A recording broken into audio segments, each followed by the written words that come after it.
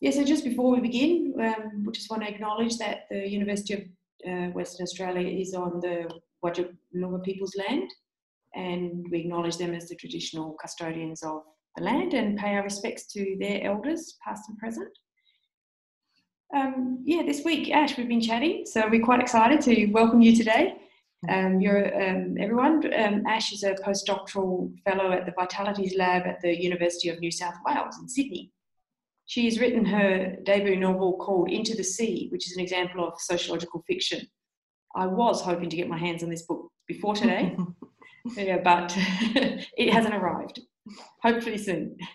Um, she's also the creator of and editor of SoFi Zine. Did I say that correct? Zine. Zine, yep. there we go. Yep.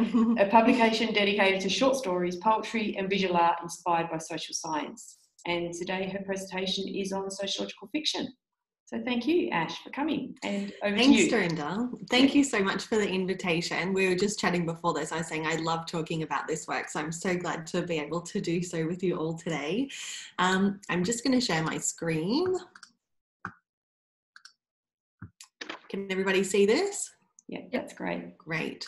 I um I don't have slides, but this is a website that you'll just be able to access later if you are interested.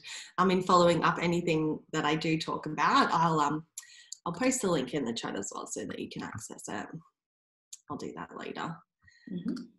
Um, yes, thank you so much for having me. As um, as Dorinda said, I am a postdoctoral fellow at the University of New South Wales. I've been here for about um, yeah a little over twelve months now. And before that, I was based at Griffith University. Um, and what I'm talking about today is my absolute passion project, which is sociological fiction. Um, rather than define what sociological fiction is, I thought I'd just give some examples of the kind of work that I um, like to draw on, some of the projects that I'm involved in, um, and some of the work that I've written myself. And hopefully, maybe we in the Q&A part we can talk about what maybe is and what isn't sociological fiction if we can easily define something like that. So what I'll um, what I'll do today is talk about some of the motivations I have for engaging in this kind of creative work that I really do approach as a kind of creative public sociology. Um, and overview some of the landscape that this work has developed from. I'm going to talk about three of the projects that I've been involved in over the past couple of years. Um, Zine, the Fiction at the Sociological Review short story series that I edit as well, um, and my novel, which was recently published, um, as mentioned, called Into the Sea. So I wanted to start by by flagging this question, which is a question from Michael Burawoy's um, well-known lecture from the 2004 American Sociological Association annual conference. It was published in in 2005 called For Public Sociology. If um if you haven't read it, I highly recommend it you do. It's quite a well-known text within the contemporary turn to, to public sociology as a as a project beyond um, beyond a kind of translation exercise or, or beyond a late stage public engagement type work that we might do as academics to try and raise our profiles. Um, he, he really kind of commits to public sociology as a much bigger and much more significant project than that kind of work. And this question, in that, I think speaks to more than the public part of sociology. And so that's why I wanted to flag it first of all, because it's something that definitely underlies um, all the work that I do in the projects that I'll speak about. For whom and for what do we pursue sociology? So I think this question and, and what Burawoy really gets to in this piece is that thinking about this question can take us beyond a model of public sociology as about being uh, the effective deliverance of, of our knowledge to publics um, to, to something that's a much more um, holistic and creative and political project um, that we might engage throughout the life cycle of research projects or as an ongoing um, commitment that we have as scholars. And some of the participatory developments in social research um, have really kind of unsettled this view on the role of scholars lately. Um, but I think that it still kind of persists especially in how we go about um, public engagement. so I wanted to just foreground that first of all as a key big question that underlies all of this work that I think is really important to um, recenter all of the time in our, in our especially our public engagement um, exercises. I also wanted to return to the sociological imagination. This is such a foundational text in um, that's taught, I think, in almost every introductory sociology course around the world. And actually i think that we we can have very little engagement with it as scholars once we've come through our undergraduate studies but i do think that it's something really really important to return to. Um, i've definitely found it incredibly fruitful for this kind of fiction work that i've been engaged in um, not only because of the parallels between sociological imagination and that imagination work that's involved in writing fiction but also to think about what Mills talks about when he when he speaks of the sociological imagination. So he defines it as something that enables us to grasp the interplay between man and society, biography and history, and self and world. And what I really get from from Mills's work when I do return to it and and kind of take it seriously as something more than an introductory text for our very early learning students is that sociological imagination is something that we do. It's something active that we're involved in. It's an active imagining, um, something that we kind of carry with us as a way of seeing the world. And the appendix of Mills's book, which is also really well um, really well cited and engaged with in that introductory undergraduate sociology context, is when he talks about the sociological imagination as a craft. And when talking about this work as a craft, reading and writing are essential practices to the work of sociology. So, in engaging with fiction, that's something that I'm really conscious of, that it's, um, well, as I'll talk about, we can use fiction as a form of, um, as a research method, as a form of data generation. Um, it's also, I think, an, an essential part of what it means to be a sociologist and a, and a, kind of critical social researcher is to practice that craft and the twin practices of reading and writing as essential to the to the work that we do and the labor that we do as academics. And it, it can also help us think about what Mills talks about when he talks about social, the promise of sociology or the promise of, of the social sciences in the world um, especially when he talks about how they are under-realized compared to compared to other fields that are also interested in the complexities of social relationships and basically how people are people together. Um, and the promise that Mills talks about is both an assurance and a potential. So it's something that can help us um, address injustices in society, better understand how people do and can live together. Um, but it's also something that we must commit to as a craft. It's it's a potential and something that we can work towards. And I really do see fiction as something that is um, generative as a practice in this space. That it's um, when I talk about fiction here, I'm, I'm talking about kind of fiction as a product, but also fiction as a process. Um, and and the the work that Mills does around craft and around sociological imagination is entirely uh, central to that. So I wanted to flag some of the key people who I draw on when I when I talk about this kind of work. Um, so this is both people who write about public sociology um, and people who um, Patricia Levy writes a lot on arts-based research, and um, Game and Metcalfe and Gane and Back um, do a lot of um, more standard sociological work that isn't specifically focused on public sociology or necessarily on method. Um, the key one, of course, is Game and Metcalfe's argument that all sociologists write stories. I think this ties nicely into Levy's um, methodological arguments, um, which I've got down here, where she argues in kind of qualifying the creative turn and the uptake of arts-based research methods across social research that fiction is a natural extension of what many qualitative researchers already do.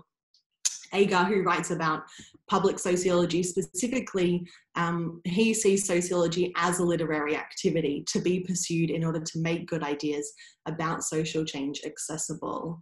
Um, this idea of accessibility is one that I've written on before when talking about the potential of the novel as a form for doing public sociology. And I think something interesting that fiction can do is, is take us beyond frames of accessibility. Um, and I'll um, I'll return to that later. Um, I also like this this piece by Gane and Back is actually a piece that critically revisits Mills's sociological imagination 50 years on. Um, and this point in particular is what I wanted to highlight that uh, exactly as I was talking about before, the further quality to Mills's idea of the craft is that of literary craftsmanship. They argue for sociology to be effective, especially beyond the academy, but I really argue also um, within the academy for ourselves and our own development as sociologists. It must have literary ambitions. So it's from these kinds of arguments that I am trying to push the creative boundaries of the discipline and encourage people to um, to write fiction, to use fiction in their work, um, to learn from fiction, not just kind of um, submit fiction to the sociological gaze, but uh, learn from literature as well. Um, I just wanted to, to name drop a few people whose work I hope that you do go and check out from a library or elsewhere. Uh, these are leading sociologists who have written novels or other fiction writers who um, do really, really interesting work that is often called ethnographic or sociological in some kind. Um, so these scholars up here all wrote significant novels over their lifetime. Um, du Bois talked about the Dark Princess series that he wrote being his favorite work that he produced. Um, Zora Neale Hurston is a very well known anthropologist who also um, wrote some incredible novels um, across her lifetime. Um, Raymond Williams is is really well known in the, the kind of sociology of culture approaches and especially around sociology of literature. Um, but also also wrote fiction and and there's some really interesting work out there around um, around his work on sci-fi um, sci-fi scholars looking at Raymond's um, work on on culture. Um, and Ann Oakley of course as well as a prolific a prolific feminist sociologist whose um, 91 book The Men's Room was actually um, worked up into a BBC mini series, which I also recommend. It has goes by the same name, The Men's Room. Um, these are some scholars who, sorry, some writers who scholars often talk about as being particularly ethnographic or sociological, as I said, or who feature um, in social science reading lists. If you're looking for texts to enjoy yourselves or novels to um, recommend to your student, I highly recommend Googling some of those lists. Just you can just search social science fiction um, and there's a lot of kind of reading lists on goodreads and things that people have curated around these ideas um, which are e- excellent excellent um, books just even if for your own literary pleasure um, there's also a great article that I've only come across recent actually by Jacob and Larson, which is on ethnographic fiction in cultural geography. The ethnographic novel is perhaps the best well known text from the scholarly side, I think, of, of work that blends scholarship and literary writing. Um, you know, Geertz talked a lot about faction as, as, as something that exists in this space when he was meditating more on the form um, rather than the, um, yeah, I suppose rather than the intent of, of, of doing this kind of work. Um, so also highly recommend um, looking at up that work if you're not familiar with it and are interested in that. So I just wanted to cover some of the key ways that people have turned to fiction in a more contemporary sense. These are by no means exhaustive, but these are three of the ways that I see people turning to fiction today. Um, so the first one, of course, is as an object or a kind of um, data source for analysis. Um, this has kind of developed over three key periods around the sociology of literature and culture. Um, Raymond Williams, who I mentioned, who wrote novels, was a big scholar in this field as well. Um, there's also significant work done around the sociology of literature using a Bourdieusian frame of taste and distinction. Um, more recently, there's also some interesting developments in cultural sociology on, on um, novels as, as social texts and how we can learn about society from literature um, in, in terms of affect and meaning making and, and um, yeah, and, and, and, cultural meaning especially. So the second way um, is what I call as, as a kind of a vehicle. So people are turning to it as a medium and a vehicle to to represent research for a variety of aims. So um, some people fictionalize their research findings in order to um, have uh, less transparency around around kind of ethnographic field sites, for instance, to try and protect participants' identities. Um, another reason why people do this is of course for teaching and for public engagement so this includes both people writing fiction themselves as well as drawing on some of those key texts in order to teach ideas in the classroom um, or or yes for for research translation and the third kind which is a much more recent development is um, fiction as a method and I mean this as a very um, capital M method approach. So there's kind of really been a notable creative turn recently in, in the world of social research methods. And this is often done um, as scholars picking up arts based research methods in order to write fiction themselves or is something that's done in a kind of participatory model where, for example, with the story completion method, um, participants are invited to, to finish the story. Is um, it's very self-explanatory story completion as a method.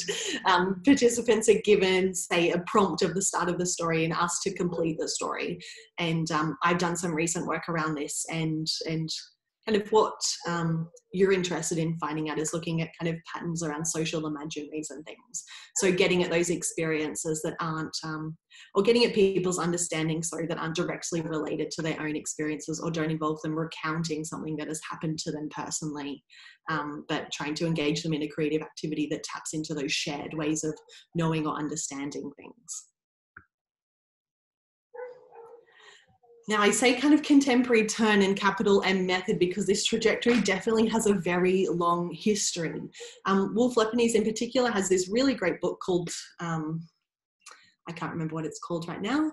Um, and it looks at the English and the German traditions of sociology, and especially the um, how sociology really developed on a fault line between art and science as kind of method developed and art and science really diverged as as scholarly fields with science and a kind of um, artistic practice um, through through creative writing.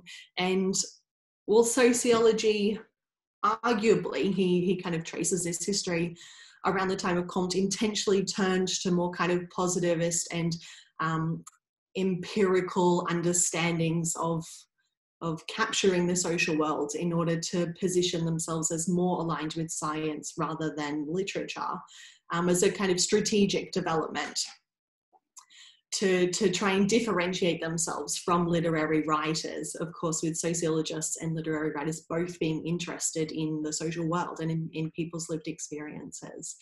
Um, so, a very interesting book that really I think provides an important context for for creative developments in the fields, definitely, um, and and kind of shows that it's not necessarily a turn to to to creative practice, but a return to to this uh, shared history.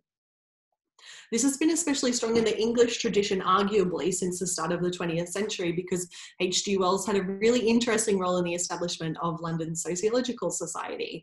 Of course, today we know Wells as a, um, a sci fi writer, um, had had a lot to do with the kind of development of sociology as we know it today in its contemporary form um, um in that London society. Of course, we've also seen over the past decades this narrative turn, and as I said, the more recent creative turn in social research. And of course, I am, I think, speaking to a room also of anthropologists who know that there is a whole significant history here um, and more important contemporary debates on writing culture across ethnography as a method that is essentially um, concerned with, with writing. Um, there are also some really significant debates on writing that are relevant if you're interested in this work.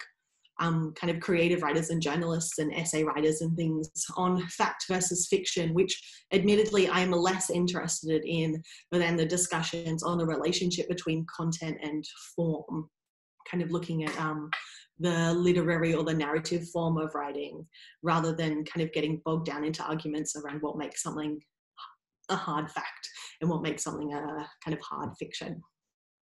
So, my interest through all of this is both in public facing work. So, um, I suppose that's in, in terms of public sociology projects, but also the work that we can do with fiction around, around our public facing identity and around public engagement. Um, but also the internal development of ourselves as scholars and about a kind of a disciplinary vision and way of working. So, as I said at the start, I really understand fiction here as both significant in terms of its product and in terms of being a, a, process that I think is really valuable and very much complementary to the kind of craft work that Mills talks about. And I think for me, this is why Mills's work on craft is still so relevant and valuable today because these endeavors on public facing work and our internal development as, as a field are not distinct. So these are three projects that I have worked on over the past couple of years that I wanted to speak to because I think they give some good examples, especially the first two where I'm not talking about my own writing, um, into, into the, the power of the kind of work that I'm talking about. So the first is SoFi Zine. Um, which is a zine series that I have been running for the past couple of years that is open for submissions of short stories, poetry, visual art, um, I just published a special issue um, last week, I think, which for the first time included a set of creative essays that I did um, in collaboration with Rob Shields from the University of Alberta and some of his students. Um, we produced that together as a special issue, but all of the other standard issues are microfiction. Um, I like to do a series every now and then of drabbles, which is which is short stories of exactly 100 words, no more, no less. A real challenge to write um, other kind of micro short stories, so up to a thousand words in total, um, written poetry, visual poetry, um, cartoons, other forms of visual art that people submit. So I launched the first one in mid 2017 um, when I was at Goldsmiths for a period of time during my PhD. And for each edition, I have invited somebody whose work has been really influential on my own to contribute a piece of writing and kind of to serve as the inspiration of for that specific issue. So I theme an, an issue around these scholars' work. Um, these are the people who I'm so fortunate to have had involved so far. Um, Patricia Levy, who I mentioned above, is a real leading proponent of arts-based research um, Howard Becker, Les Back, Nirmal Puwar, Michael Burawoy, Raewyn Connell, Deborah Lupton, Rob Shields um, have all been involved in the first uh, seven editions so far. And I've got a forthcoming edition later this year with Ruha Benjamin.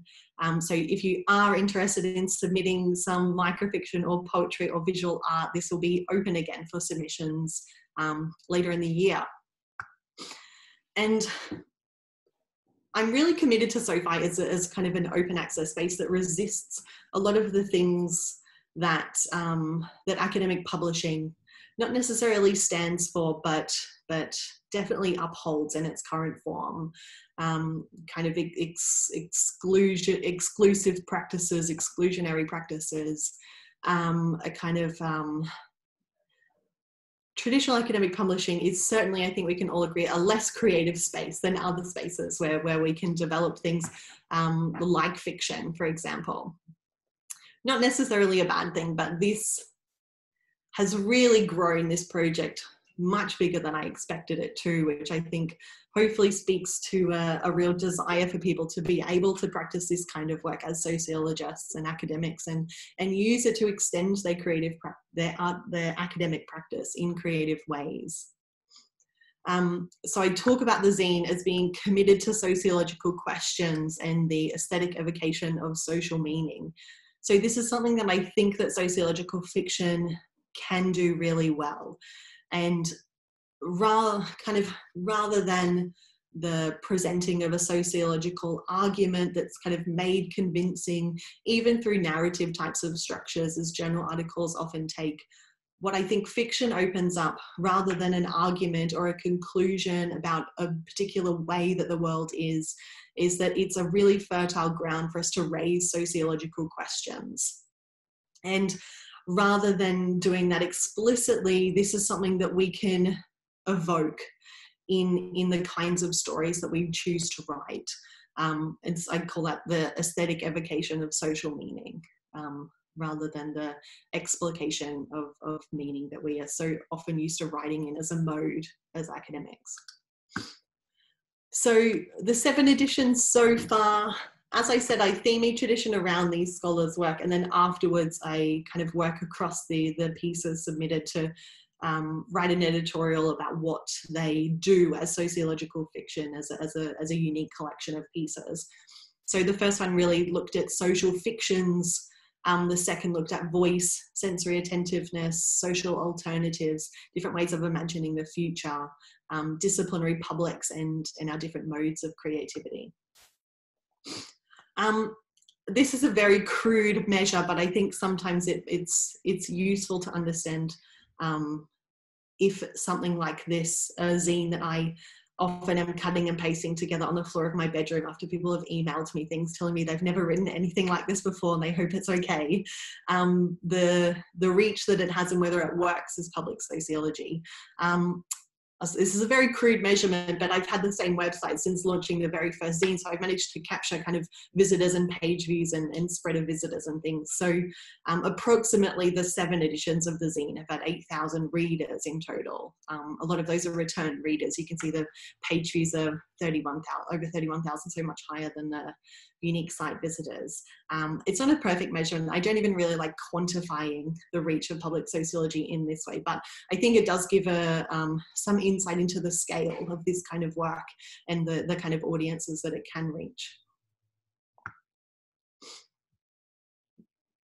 Here's an excerpt from one piece, a short story that was published in the third edition of the zine. Um, and I just wanted to share this excerpt with you. I'll, I'll read it out and then talk about why I like it so much. It's from a story called Unbecoming Strangers by Fabian Cannizzo. Sally had been working at a call centre for months now. Nothing permanent, she was sure to mention to any prospective employer, just a casual stint, night relief. But in truth, her contract had mutated into regular 40 hours and upwards weeks. Taking calls was mostly mindless scripted work, but her co workers brought relief to the droning shifts. On the edges of the city, they were a family of convenience, married in the shared isolation of unsociable hours. At night, the city was clear, almost open. In the grooves of these rhythms, Sally became attuned also to its asynchronicities. An ill manager meant understaffing. A missing bus was 45 minutes of pay docked. The life of the day dwellers had been blessed with unnoticed conveniences. The night transformed a metropolis of abundance into frontier of far out places. This is a brilliant piece, so I highly recommend that you go and check it out. Actually, it's um, it's a story about somebody doing uh, surreptitious ethnography on public transport and what it's like to be somebody who is being observed while going about your usual life and not necessarily wanting to to have a researcher staring over your shoulder without you knowing. Something excellent that I think that this piece does. So this is how Fabian opens a short story. And I really love it as an opening to a piece, especially as a sociological kind of fiction, because I think, as I've said here, more than setting a scene, a kind of an introductory opening scene where we get a sense of a place and of the time period that we're in, what Fabian manages to construct is the tempo of a lifestyle. So manages to, to for us to understand all of those kind of sociological ideas about what a lifestyle is and what the significance of thinking of something as a lifestyle means and and brings a sense of pace to that that carries us through it but also makes it really effective so we can feel the tempo of what that lifestyle might feel like to live. Um, yeah highly recommend reading the rest of it. It's a great piece uh, the second project that I that I wanted to mention was Fiction at the Sociological Review. So this is an online short story series that I've been editing for TSR since September 2018. So it's nearly been two years that we've that we've had it on the go, and we've published 14 stories um, to date. So people submit short stories. So these are these are longer pieces than in SoFi and they're up to three thousand words. Some slightly push that, but that's okay. um, and people also submit a five hundred word exegesis with a piece, which is a kind of um, a critical reflection on the sociological concepts often that are in the story. It's a kind of explication of, of, of what they've tried to do with the story.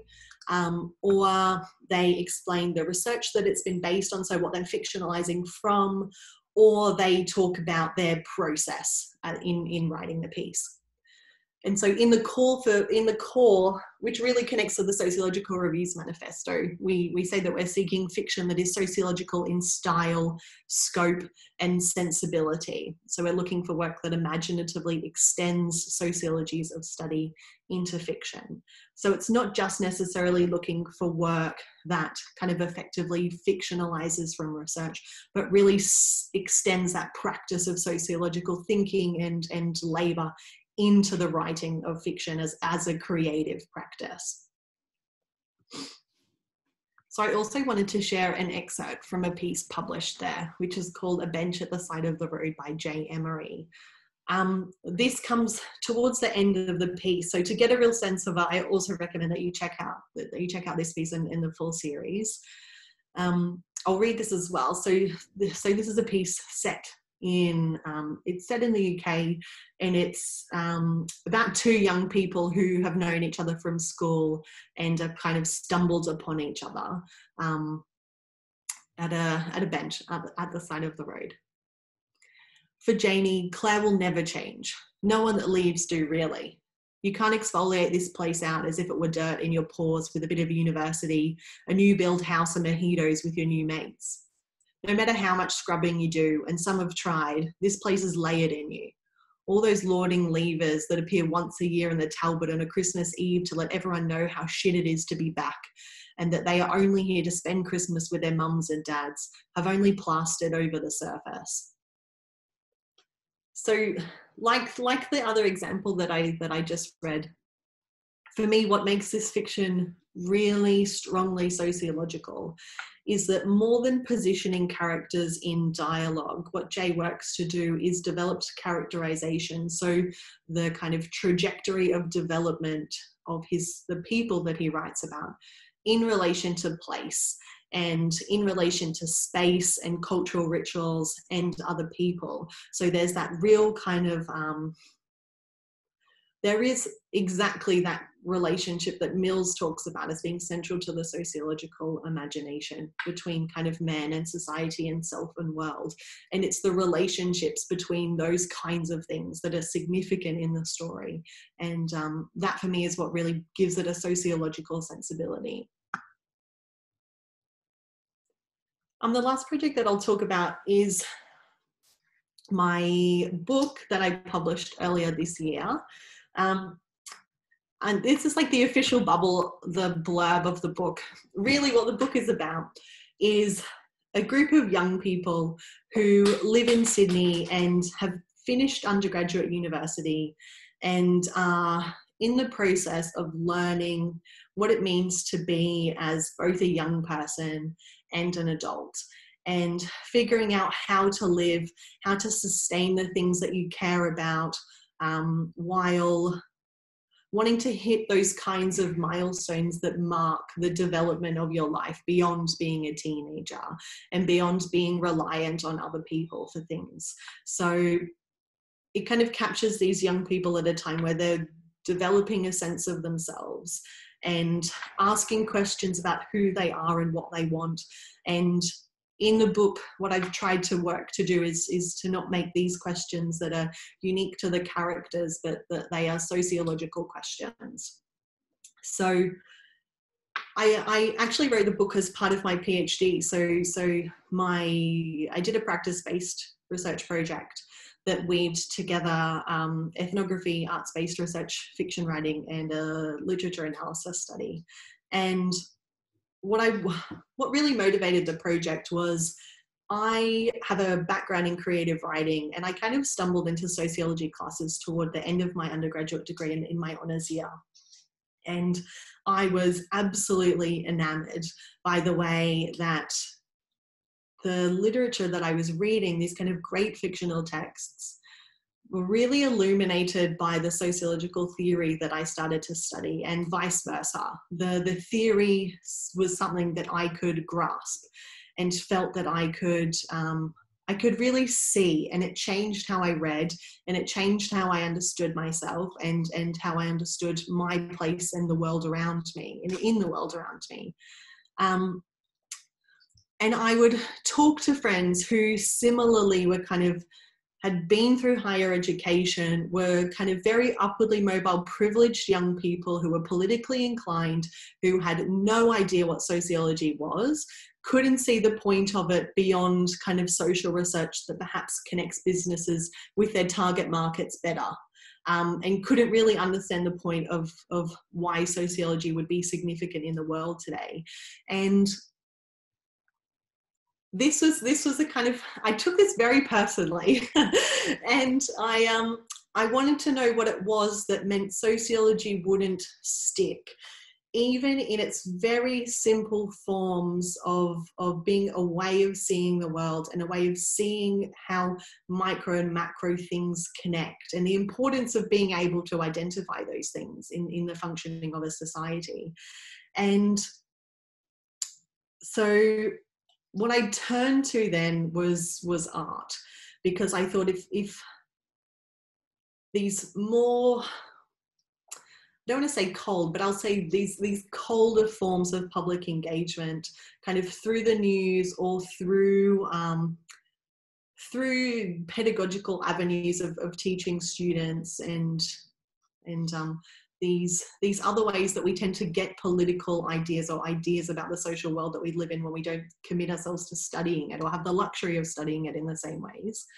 um, didn't seem to me to be as powerful to try and do the kinds of things that I thought sociology needed to do in order to seem significant to the kinds of people that I was teaching, the young people I was teaching, and also just the other people in my social life. Um, you know, I was really taken by Mills's work on the sociological imagination, and I, I wanted to see what it was that would make that imagination important for people, not just kind of the the findings that, that great sociological projects can identify and point to and kind of point to problems in, in these very significant ways. But um, I turned to literature as, as something that could perhaps illuminate the sociological imagination. So I engaged fiction writing as, as a process and, and as a creative method in my PhD, as a form of creative public sociology, both to kind of craft the product that, that could hopefully do this kind of work. That was a, a challenge of, of doing the work, but also as a process to try and use the fiction writing process to understand those contextual limits and the boundaries of Mills's promise. So I used the novel also to interrogate that same social world that I hoped the novel would work within, to understand um, the challenges to, to Mills's vision of sociology and and those kinds of things that would make sociological imagination slippery rather than sticky in, in the kind of public public world that we live in in Australia in particular. So the novel is mostly set in Sydney, Australia, and follows a group of young people throughout 12 months of life. And the narrative is set in the year 2014, and the more micro parts of their characters' everyday lives are entirely fictionalized, but the backdrop that they're set against is not. So there are real events from that year on a national and international scale that, that kind of come through the narrative that are on the news or that they are impacted in um, themselves. So it intentionally weaves together a, a, big mix of themes, themes that I was teaching my undergraduates over the you know five years that I four years that I wrote the book, um, but tried to really do so in a way that didn't separate out those themes, which I found something really difficult to communicate to students um, when I was teaching introductory sociology is, you know, when we take this thematic approach to courses, it can be really hard to get students to see the relationships between those different themes when by necessity of how a course is structured, we separate them out. So the, the chapters don't align with the theme itself, but really try and um, kind of throw all of these up in, into, a, into a complex mix um, that's hopefully useful in a pedagogical sense, but um, yeah, is also kind of extends extends beyond that. It's it's um, unlike some other sociological fiction texts that have come out in the past few years. It's not um, purely designed for teaching, but hopefully is useful for teaching. So I just wanted to share one excerpt from the novel um, before I speak to some um, useful theoretical concepts that, that I think are valuable for us to write with rather than necessarily trying to illuminate them. So this is uh, this comes at the end of chapter eight in the book, which is a scene. So the the the protagonist Taylor is a primary school teacher, and this is a scene set on a school camp, um, where she's gone with her class and, and some other classes, and um, yeah. And this this this part of the this part of the novel is set on the last night of the school camp where they hold a talent show. The last group run a skit about as they loosely introduce Australia. 14 of the 15 potter about the stage, miming a sausage sizzle, thin white bread arms of one kid wrapped around another who wriggles like a burning rocket, a small herd of sheep bleating on all fours, a cantering bushman whose top half cracks a whip and the bottom clops along like a horse, and a lifeguard saving people at the beach. One kid, full of cheek, wears a blue singlet that's that kind that's somehow still called a wife beater, complete with pillow stuffed beer belly and black rubber thongs on his feet. He staggers around the front of the hall holding a can of Coke, a beer can stand in that he still would have had to beg one of the camp staff for. The corks hanging off his brown hat knock into one another. He does nothing but swat at mostly unreal bugs, scull the empty can with his head back and pretend to fart, lifting one leg, fanning the air behind his backside. The act is so slick, it's like watching a dog swim out of the deep end of the pool for the first time, an act grown in his bones. Mr. Grange loses it. He slaps his knee and wipes his eyes, hooting louder than the rest of the grade combined. Darl, the boy says when he realizes his pull. You've gone and burnt the snags. He points at a sheep and the audience roars. Oh, tell him he's dreaming. The group finished with a hand on heart delivery of four Peter Allen song, song lines they know from a Qantas ad that aired before they were born, closing their eyes for New York to Rio and old London town, despite few of them having folks who can afford overseas holidays, and with no matter how far or how wide I roam, the whole the full the whole full room double belts the final line, screaming the pitch out the second time. I still call Australia home. I still call Australia home. So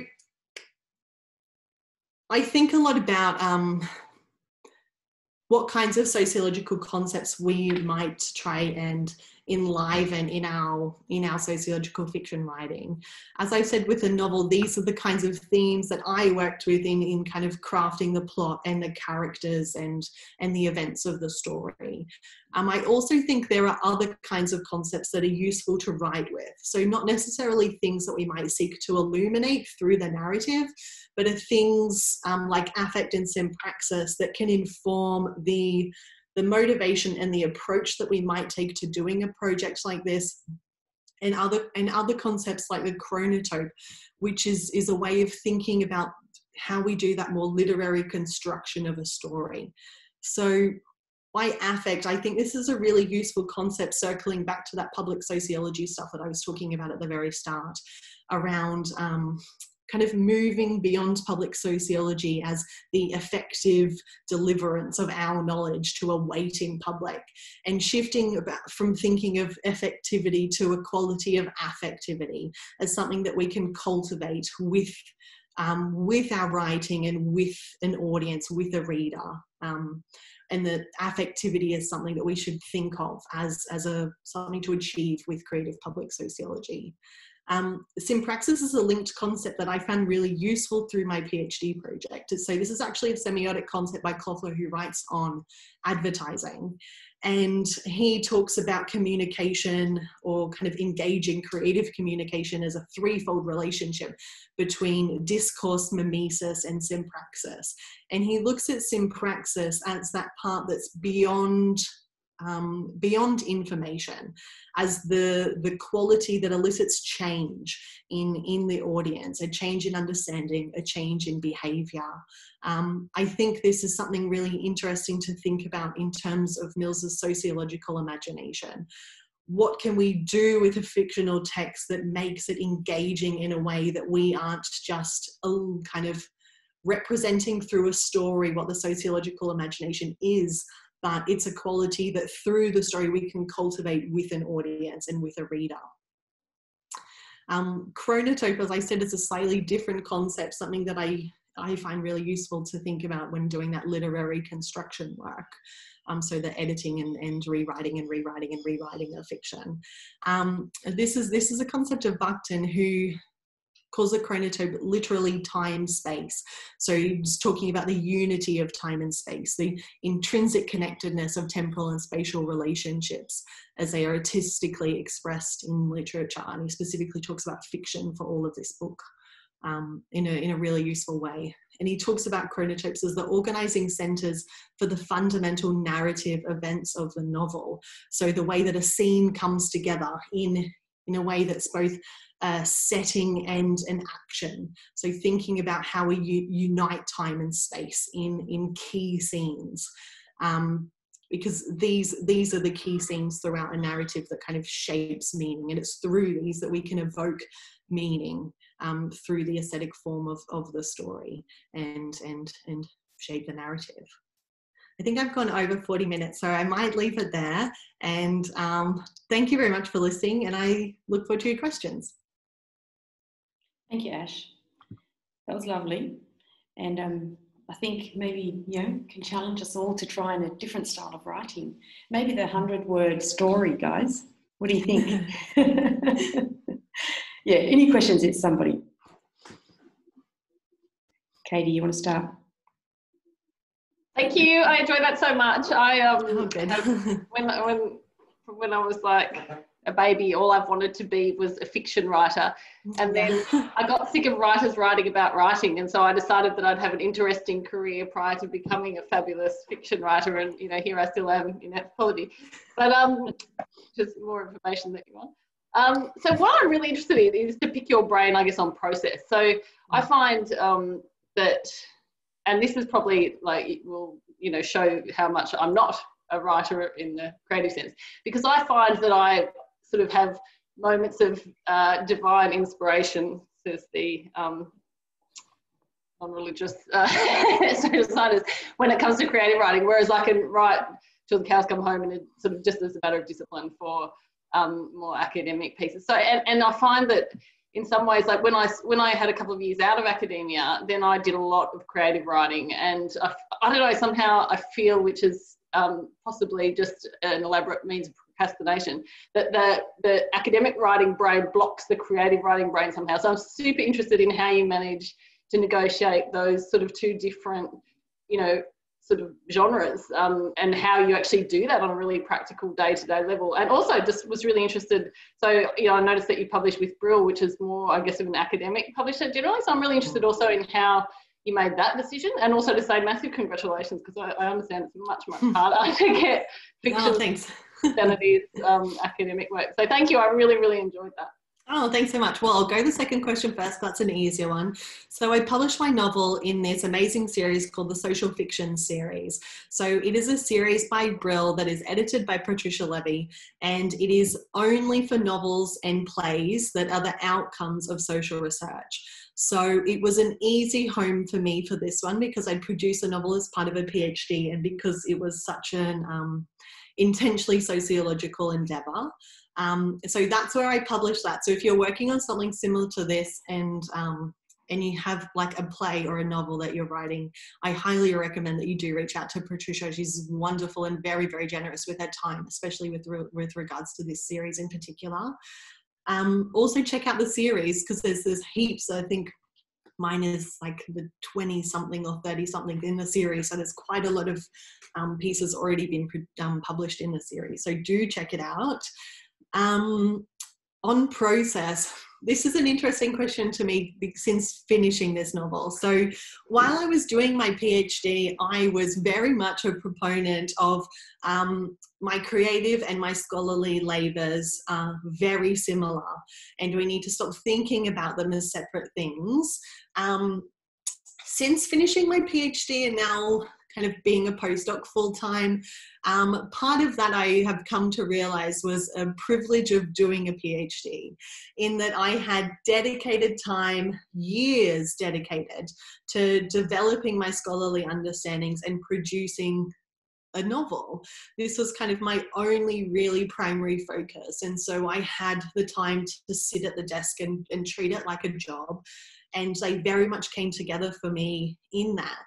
Um, the new project that I'm working on is almost a completely different haphazard approach. Um, as as as you said, it's um, so far has come to me in moments of divine inspiration. It's definitely not a job writing the second novel because now I have a job. so my um yeah, it's I suppose it's so my brief my brief reflections on that then is that it depends on the project and and um yeah the the second novel that i'm working on will be a much more i think partly challenging process in terms of writing where I'm sitting down for kind of a rushed few hours where I have an idea of something to write and contribute to the novel and I blurt it all out. Um, I haven't yet hit the piece where the, the, the, my stride with the with the story where I know where it where it's going and I'm ready to sit at the desk every day and write. Um, although I do try and take that great enduring writer's advice that writing only happens when you're sitting at the desk and getting to the desk is the hardest thing. So, um, yeah, in terms of actually getting words on a page, that's the only advice that I would have and is a process that I myself need to stick to. Um, and the the kind of difference or the bringing together of scholarly and literary work is a very much a work in progress for me. Awesome, thank you. That, that's great. Just um, I just before I go, have you come across? Um, it's a new. We had Anand Pandian come and speak with us um, in this series a few weeks ago, and he's just had a beautiful um, ethnographic fiction, um, poetry, etc. Uh, edited volume come out called Crumpled Paper Boat. Have you heard of that? Oh, cool. No, I don't think so. Beautiful, and he's also got another um, another edited volume called Anthropocene Unseen which also has really beautiful, creative, very, very short pieces that you might find rather lovely. Thank you so much. Thank you so much. Thanks. Okay, thank you. Um, Farida, did you have your hand up? Sorry, I just unmute myself. Mm-hmm. Um, Ash, that was really interesting. Um, thanks. So, uh, yeah, I, I, don't, I, don't, It would be really interesting to see how many um, people with sociology or anthropology majors also double majored in literature which mm. I, I'm one of them. Um, and you know, I, I, sometimes joke that that it, doing English literature kind of knocked out any creative bone that I might have had in my body. But then I mm. noticed that in my sociological writing that I, I am reasonably um, creative. So my question is around what, mm. yeah, what what makes the novel? I, I know you've tried to explain what makes fiction sociological, but I'd like to know well what what fiction is not sociological um, you know I Cloud Atlas the city and the city mm. um, you know uh, Amitav Ghosh's books uh, where the crawdads sing you know the all all of these novels you know get, provide not just insights into the human psyche but also into into the social social world and they construct social worlds that have all of the phenomena that we study. Um, and I, you know, I've, I've done some work kind of looking at, at um, political cartoons, and I'm amazed at how much sociology there is in a single cartoon. But that doesn't inspire me to become a political cartoonist because I know that I can't draw. So, so I see my, you know, what I do is sociology as, as a sociologist. So, yeah, I'm, I'm, I'm just not convinced that that sociologists should necessarily um, be, be, trying to take on an, another form of communication which may not be their forte um, mm. when novelists do it just as well as, as we might. Um, so that's a bit of a devil's advocate kind of question. no, it's a key question that I've really thought a lot about, and you'd be surprised how many people have asked about it and that I've talked with about it. Um, I think there are some for me, relatively arbitrary lines that we can draw between novels that we as sociologists can read and say this is so sociological versus versus texts that are intentionally written as as a form of sociology. Um, i i wholeheartedly agree with you that that you know and other people have argued long before me that possibly every fictional text that exists is kind of sociologically significant and ripe for sociological analysis um, I'm, and I, do, I don't necessarily want to advocate that that a, a, sociologist should kind of all take up fiction writing as if it's something very easy to do. Um, I very much know that it's it's something that I do because I'm effectively trained in it. I have studied some years studying creative writing um, before you know before I came to sociology really. So I suppose for me, what's what's really useful about it is that for people who do want to write creatively, and there are a surprising, still surprising for me, amount amount of social researchers who do want to write creatively or do already write creatively, um, is is thinking about how we can do that, not just to communicate our research with others, but as something that we can fold into the many kinds of practices that we already do to kind of strengthen our work as, as sociologists. Um, you know there's there's lots of other practices that people do even from keeping a research diary. Um, i think writing fiction is something that can can complement that internal labor that i talked about that that i think can be really useful for our own development um, and also for our development with students in the classroom around sharpening that sociological imagination when we're first developing it. Um, does that answer your question yeah, it's it's a hard one about kind of what is and what isn't sociological and and um, whether kind of a text written by a sociologist is any more sociological than something written by a by a literary writer. A key difference for me, I will say, in between. I mean, I just I read so much, so this isn't a systematic uh, analysis of, of these texts by any means, but from all of the work that I have read, a key difference for me from the literature that I read to the to the kinds of characters that that sociologists write is that the climax of a narrative in some of our great works of literature essentially boils down to an agentic individual triumphing or try like triumphing over over an issue. Even whoops, sorry, dropped my headphones. Um, even when that issue is kind of paid a very careful and attentive attention to as a societal issue. A lot of these great narratives, especially a lot of great contemporary literature, is still comes down to um, an almost individualistic resolution of the narrative in order for the story to finish. Something that I like that, that fiction writers who are sociologists do is they resist that. They're at, a, at critical points in the narrative, there is a resistance to that turn to individualization, which is arguably a, a result of our kind of Western narrative structures of how to structure a story altogether. Um, yeah but but that's been one of the more interesting things for me is, is thinking in some of the ways that they they do resist that and that's where they bring that sociological um, understanding to bear in the in the narrative structure. Okay sounds good. Thank you. Um, sam you did put a question in the chat. Hmm. did you want to ask that still? Or did you want us to just read it and get Ash to ask it? I can read it out. Mm-hmm. Sure. Oh, he's got no mic. There we go. You want to just read it out and then answer it? One of the fundamental problems of studying human beings is their unknowability and ambiguity. We can never have total observation of people and we can never know what happens in people's minds outside their own inevitably partial reports. Conversely, fiction routinely presents a level of insight into characters that can never be reached in real life. For many people, that's a large part of appeal. Yeah, when fictional people are ambiguous or unknowable, this is the result of purposeful aesthetic choices rather than the problem of uncertain scope that inevitably emerges from the messy constraints of the real world. How can or should this contradiction be resolved? Mm, that's a big question.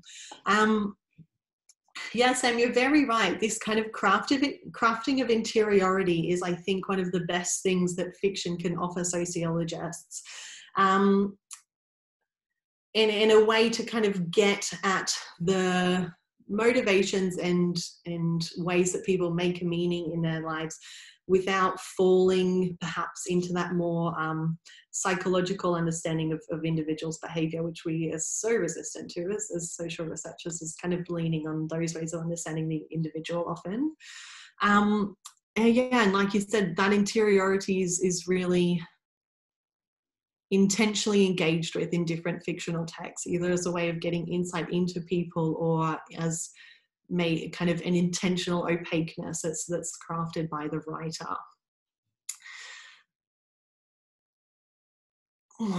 rather than the problem of uncertain scope that inevitably emerges from the messy constraints of the real world.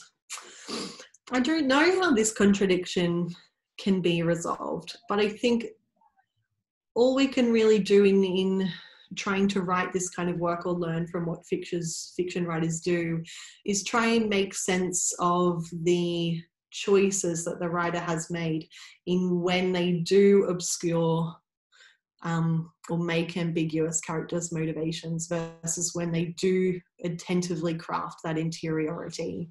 And um, and and kind of think about it in terms of whose not only whose voices are heard but whose whose um, yeah who who those more personal insights and, and things are, are privileged in a narrative I don't know how we can resolve it. I don't, I have no idea how to answer your question, but it's definitely something that I think is really significant in fiction, especially for sociologists, and and something that we can um, that is would be really valuable for us to kind of learn from it and pay attention to as, as something that writers in, intentionally engage with and, and specifically craft for lots of reasons.